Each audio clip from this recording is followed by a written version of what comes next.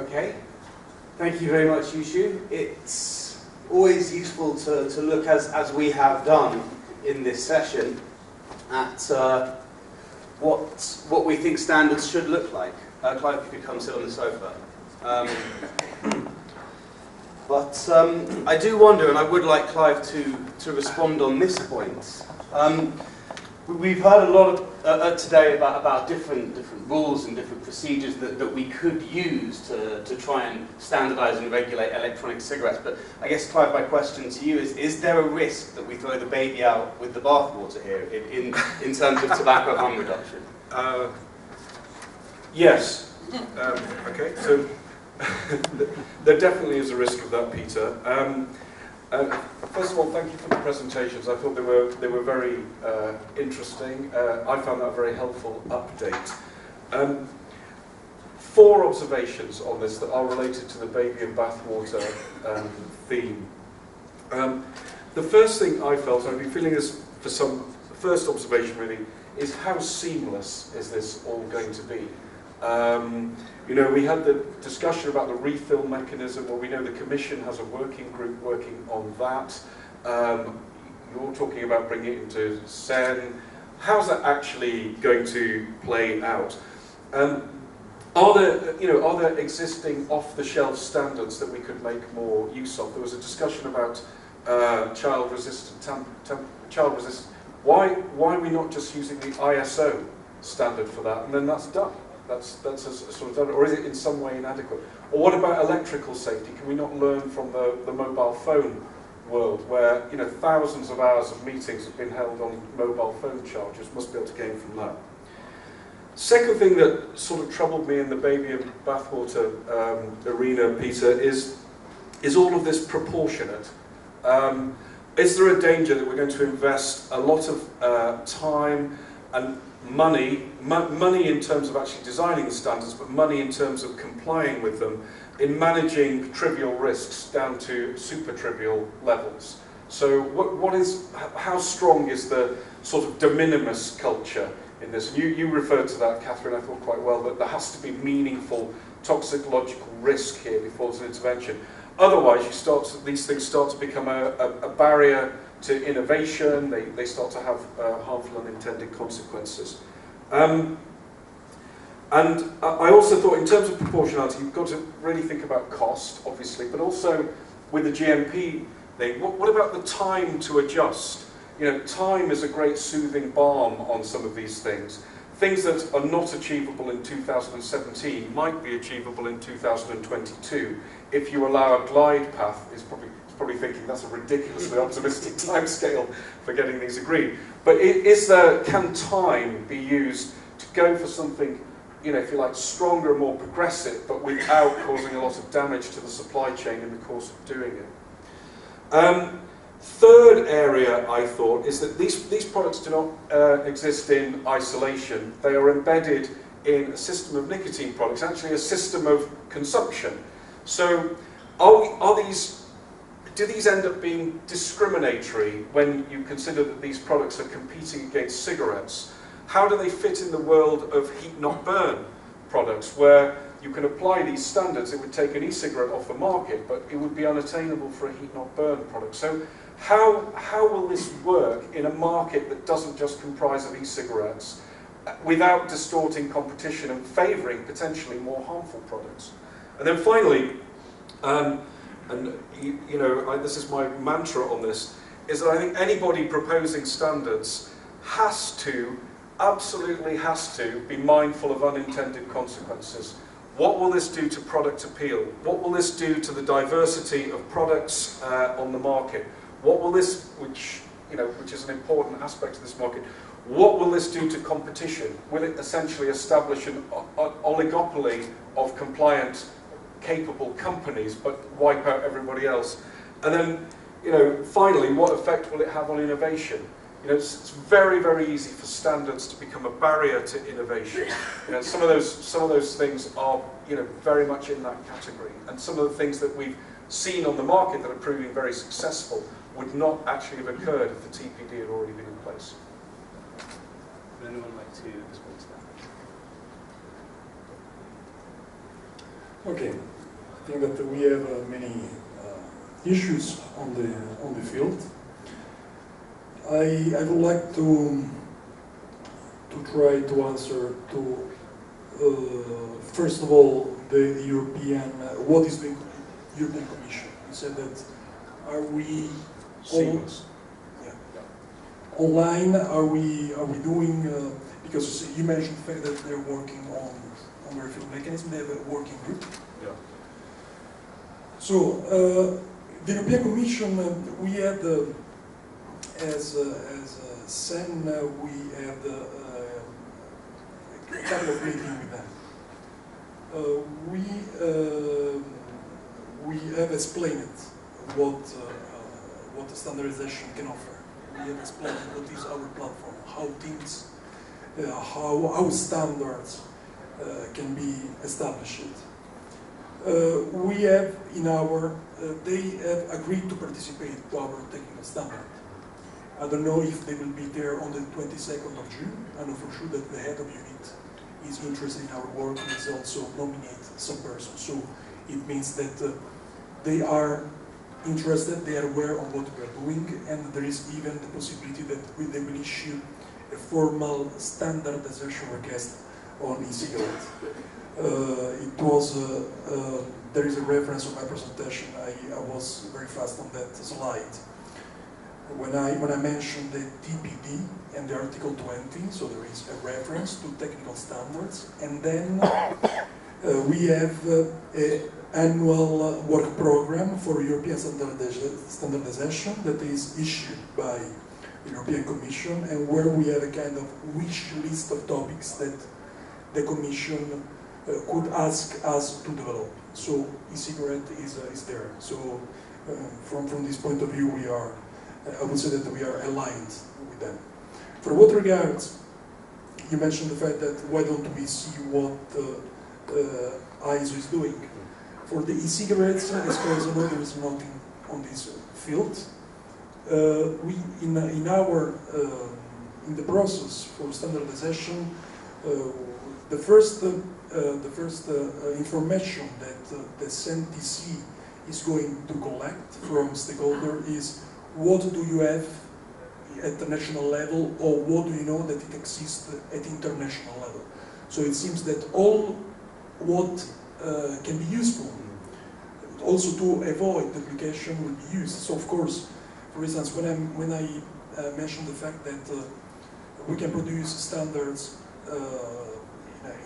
in, a, short time, uh, it is based on consensus, but it's also based on the technical reference document that are already available. So of course, there is a, a survey to, to, to address this. So standards and innovation. So I work in the innovation department on uh, Ovels and CENELEC.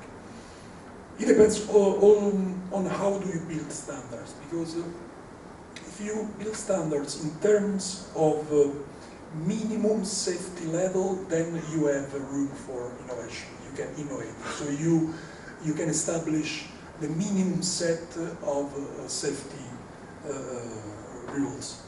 Uh, if you, if you um, uh, build standards that uh, uh, specifies um, too much, go too much in the details that um, are descriptive standards, then uh, there is a risk actually that uh, innovation can be harmed and uh, uh, can be blocked. Standardised for outcomes. Yes, I, I, I, this is our view.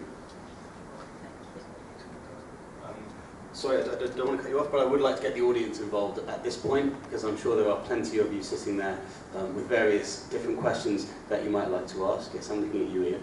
Um, so if people could put their hands up, um, I'll take three at a time. Um, so I saw Riccardo. Um, there's a question over here as well. Yes, Katherine. In regards to toxicology, the route of administration is hugely important.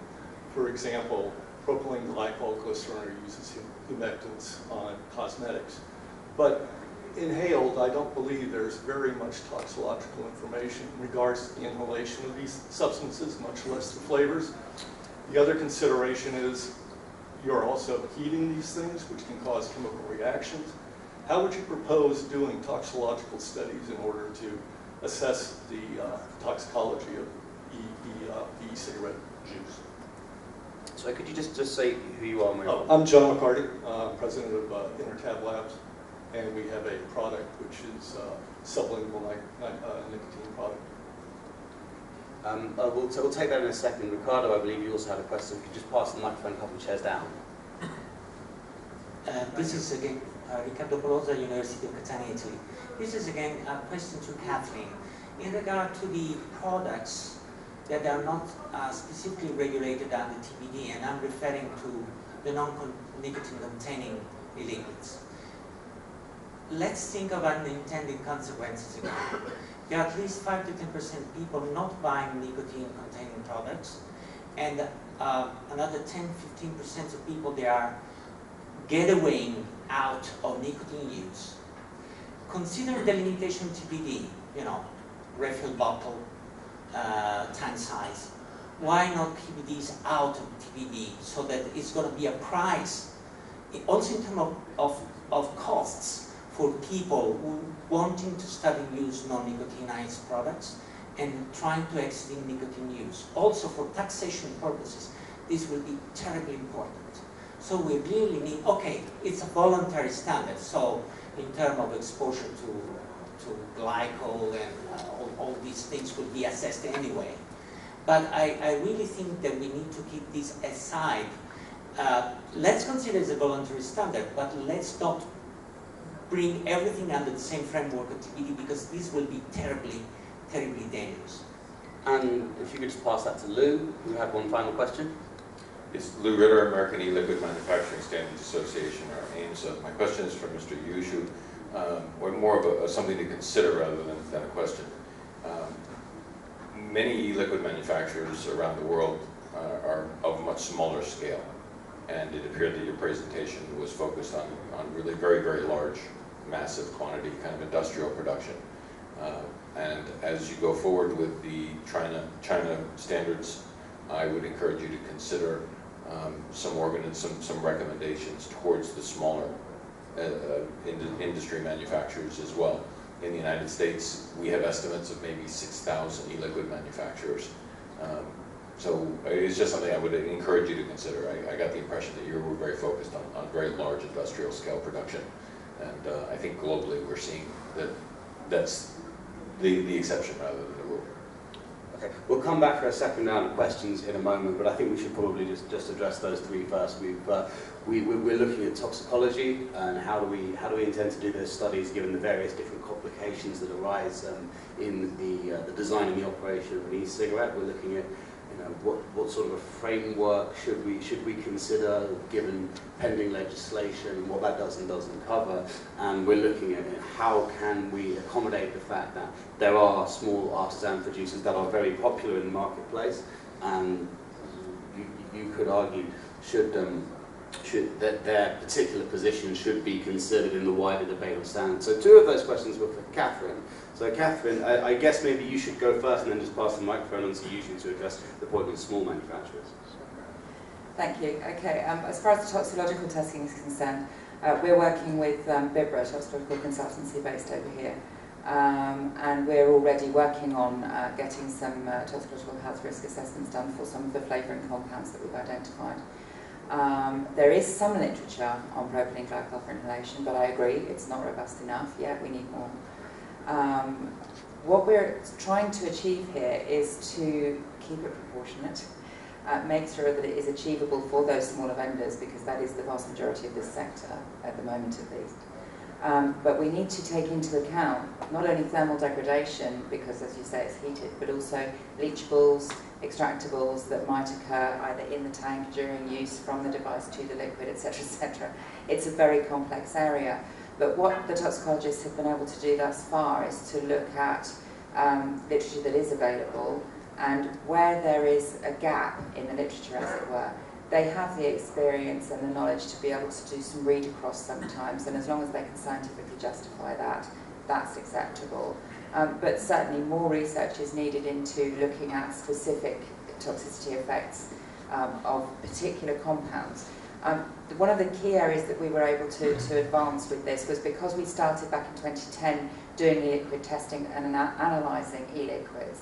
We've got a huge database already of identified compounds that we have found over the years in e-liquids. So that has given us the starting point, which is what they started with. So it's like, okay, imagine if you had an e- a hypothetical e-liquid that contained every compound that we've already discovered in e-liquids.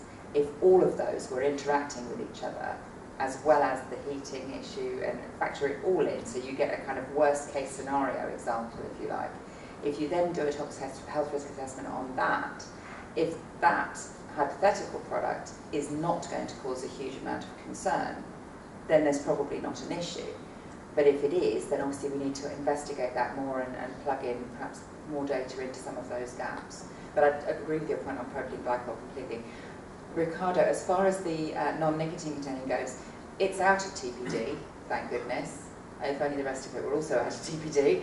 Um, but you know, I'm not suggesting for one moment that the TPD should cover e-cigs at all, frankly, um, and it certainly shouldn't meddle with non-nic uh, either.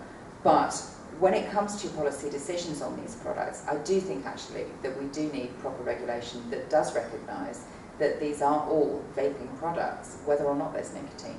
Because actually the nicotine is not the most important element here. There's an awful lot else going on, and of course they are all for inhalation, so whether or not there's nicotine, it matters that they are of the right quality and safe.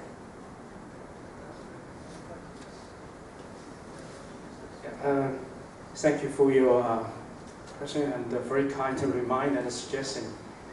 Because we come to the market with our own strategy, so um, our, our own strategy support, uh, we can produce uh, this in an industrial basis. Actually, you see our workshop, actually uh, the batches is not that not large. So we, we're also able to make uh, as small as like one kilogram from batches. So that's also very flexible to our customers. But the thing is, we, we, we think, you know, uh, I, I, my, personally, I call this like an ESEC version uh, 2.0 is coming. So because the, TPD and FDA uh, regulation, they, they really force the, uh, the market player have to upgrade themselves, you know, to meet the minimum uh, regulatory uh, standards. So then uh, we think, you know, um, uh, this kind of direction and trend will encourage us, you know, provide more higher quality products with a competitive cost, you know, to supply, to balance, you know, the industry and the uh, consumer uh, for, for user of the product. Yeah, but it's, it's very kind of to give me this uh, suggestion. Thank you. If, uh, one, two minutes. Okay, so um, we'll, we'll go for another round of questions. Um, I see Ian waiting patiently with his hand up. I see Jack. I see another gentleman over there. So if the microphone could sort of find its way over here. Um, okay, so if you could just, just state your name and where you're from before you ask the question. Sure, I'm Jack Henningfield with Pinney Associates and Johns Hopkins Medical School. And my question and comment concerns timing. And timing is really urgent on this issue. Every single month, month that goes by, the public becomes more frightened. They hear about formaldehyde and heavy metals. I like Clive Bates' glide uh, path concept. And the way I interpret that is that we should do now, very quickly, what is possible and reasonable. And at the same time, we look down the road and what is possible in five, six, seven, eight years from now. But we can't wait several years when we can do reasonable things quickly. And in both of the uh, first two presentations, I'd love a comment on your idea of the timing. In my own comments later, I'll, I'll make some comments on this, but I'd love, what, what is your sense of the timing? How quickly can we reassure the public that something is being done, provide some basis for their confidence? This public health matters here. Uh, you just pass it two places to your right. Michael from the Danish Trade Organization. I got a question for Sam. How um, how fast do you think this uh, standard could be finished? Because in Denmark they say like one year it will be done. I don't think you can manage that in a year.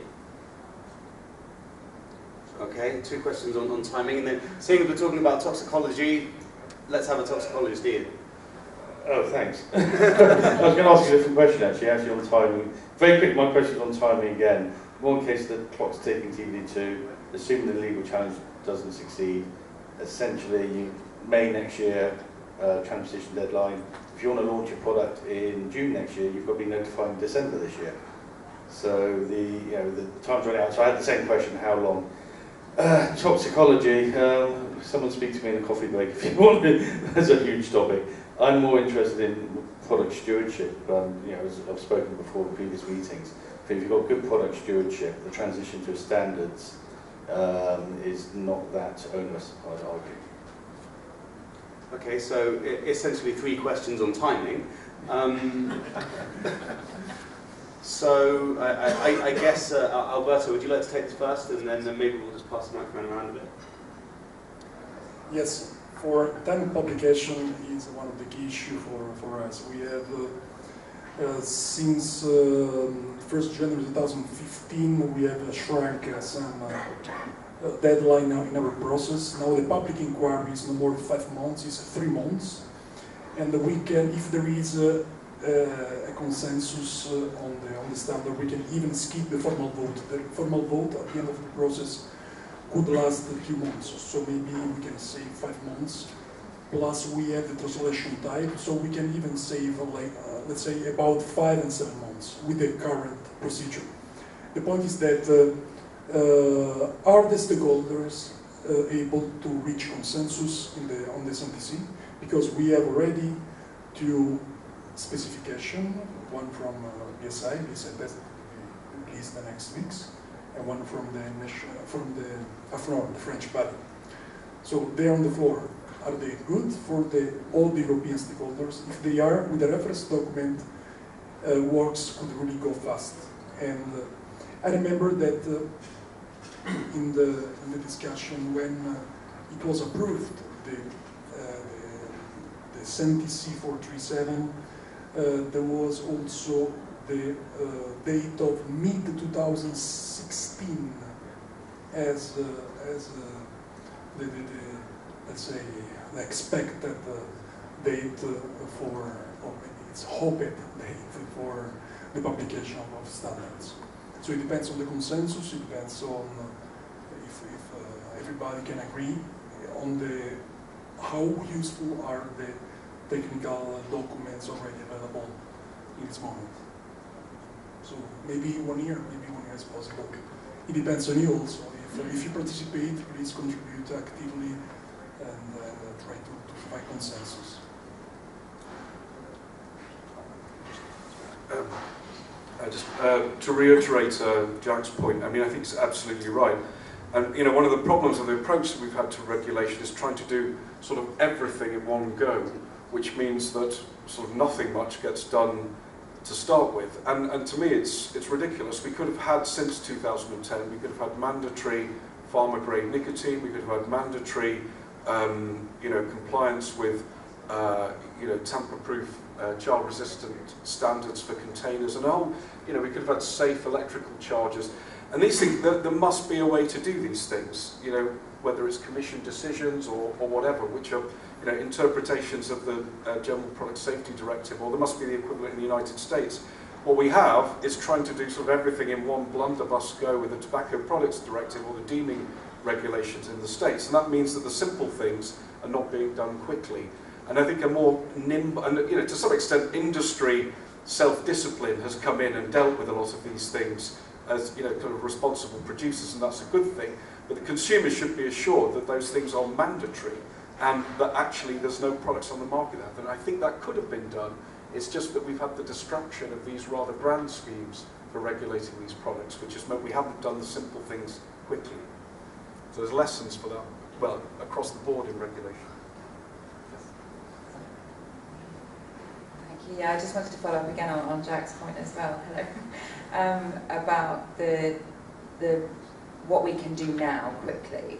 Um, I mean, as far as reassuring the public goes, that largely depends on the media starting to tell the truth instead of making up all sorts of scaremongering nonsense. That's what the media... Um, uh, But it, well, yes, it's fed in, and that's what I was getting to. It's fed in from elsewhere.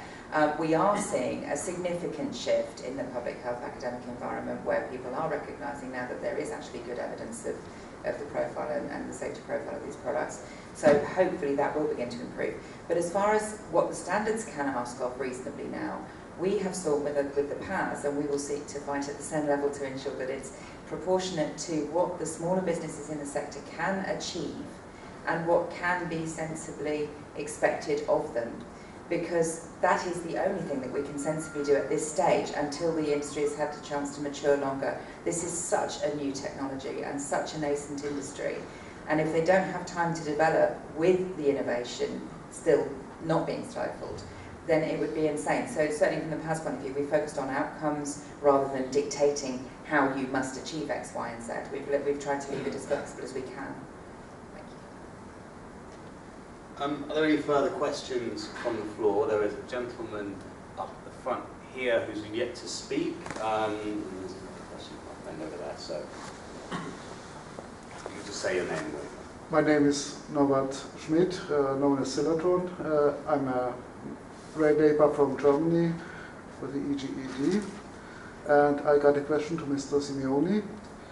Uh, we, we all know that uh, these formaldehyde scares uh, were based on uh, inappropriate use of uh, equipment and tests uh, that led to no sensible results. And I was wondering if these tests are also in uh, testing equipment, sensible testing equipment is also in the scope of the uh, norming process, uh, of the standardization process. Okay, there's one further question. Uh,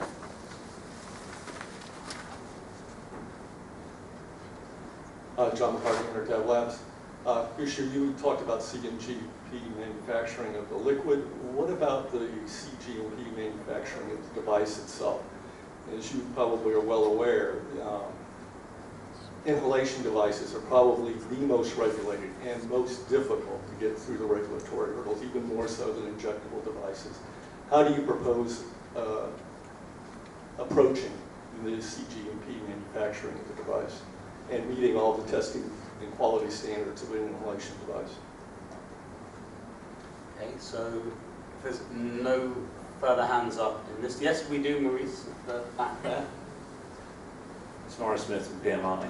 Just on the tox question, I mean, there is data on, uh, inhalation data on, on propylene glycol, a number of studies out there, but and more will certainly follow. But for me, the question is, what's the comparator here? Are we talking about absolute safety of, of e-cigarettes, or are we comparing them against conventional cigarettes? if you run the study comparing propylene glycol and e-juice against, against a conventional cigarette in a rat, you, you'll soon see the difference. And I think it's the same point that we'll see for humans as well. Okay, so um, talking about test equipment, this will be the last round of questions. If, if you could answer it in the next six minutes, because our audience is looking very undercaffeinated. Um, so we're talking about uh, appropriate testing equipment, standards for uh, measuring so for collecting and measuring vapor, um, potential for CGMP manufacturing of devices in addition to, to e-liquid, um, and uh, what should the comparator be? Are we, are we comparing this with cigarettes or are we comparing this with nothing? Are we comparing this with perfection or are we comparing this with the opposite of perfection? So I think the, it actually might be better to address the vaping uh, machine question, so to Katherine um, in this instance, and then we'll go to Yushu, and then um, whoever wants to chip in on the on the cigarette question. Okay, I actually want to jump in on, on Maurice's question first, if you don't mind, awfully, um, because I know from the discussions that we've had with our with our colleagues at BIBRA that. Uh, there are um, workplace exposure levels that they can refer to. There are obviously the comparators with um, effects of smoke as a comparator. Um, ultimately, what we're looking for here is straight across the board, you know, health risk assessment, what is, you know, compared with nothing. That's the baseline. But we found it helpful to bring into the standards, and I, as far as I'm aware, I think the uh, the AFNOR standard also um, touches on this, that the fact that you can use benchmarks that already exist. So you can use workplace exposure limits and so on and comparators with smoking as comparators that might be useful to help interpret the data and so on. So hopefully that will help with that. As far as testing equipment goes, yes, uh, we both, I believe, in, in FLR and in, certainly in BSI, we have um, looked at uh, validated methods. We've also got unvalidated methods, which we're now seeking to validate. Our testbed atomizer that we developed, um, which you may have seen on our, we, we put the design out there, that's with labs at the moment being validated, and we hope that that will be validated in time to bring it into the CEN process. Um, but in the absence of that, as it, again, as I was saying before, we've left it quite flexible so that how you get there is up to you, as long as you can demonstrate that you're able to show by whatever your test method is, that the, you're able to show that there is no contamination, that the levels of whatever matters are at the right levels and so on. So hopefully that helps with that. So um, thank you for your question. Actually, this gave me opportunity to say uh, what I want to say. because, you know, uh, because we are just the uh, e-liquid manufacturer, so I'm not really prepared to talk about uh, e-liquid beyond that. But, you know, when we uh, sell the e-liquid, actually, I know we are not really selling liquid, but the aerosol. You know, end of the day, when you inhale your, your lung, the body, that is the aerosol, is not the liquid itself. So that's from liquid to aerosol, that is device. So then, um, how we're going to uh, uh, dealing with the device under this GMP, actually in the pharma industry, is not something new because if you look at a lot of uh, uh, medical device, so that also produce manufacture under uh, CGMP, so that's also can follow this kind of uh, guidelines. we can do that. That's why in our organization we also, you know, ability to do all the, any kind of analysis or data uh, for the uh, device together with the uh, e-liquid. So that's why, um, but this is very important. Um, I think the point about the device is uh, device standards for inhalation being extremely exacting is a, a, a fascinating example of the potential for unintended consequences because an attempt to have very, very strict standards could simply remove many of the existing devices from the market. And then we have to go back to the idea that's raised by Morris and others that these products are embedded in a system of consumption very harmful uh, products, cigarettes. So the, the danger is in enforcing a standard like that in the name of health and safety, you actually make the total health impact worse because you end up with more people not using the more effective large-scale tanks or whatever, um, not switching from smoking to vaping, and therefore your regulation has had a, a series of knock-on effects in that system of consumption that actually cause more ill health. Then you have to say, well, let's say that that's a plausible theory that that would, that would, a plausible hypothesis that that would happen. How should you deal with that as a regulator?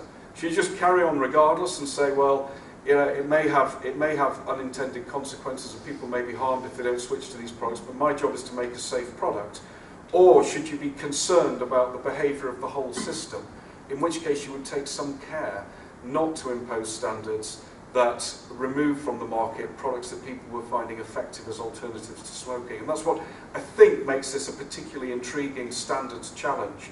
It's not the case that more is better, uh, tougher is better. Always, you could end up with un unintended consequences that are harmful far beyond the risks that you're attempting to mitigate. That's not to say you should have no standards, but that's you know a clear and present danger. And believe it or not, we are now back running on time. Um, it is 11.35. Um, fantastic job for all of our speakers, both in, in the, great, the, the great words that they said and, and making sure that we're now running on time again. Um, those of you who require coffee have 10 minutes to do so. Please be back in here at 11.45 so we can start the second session. Um, and if you're not back by 11.45, we will start without you. So thank you very much.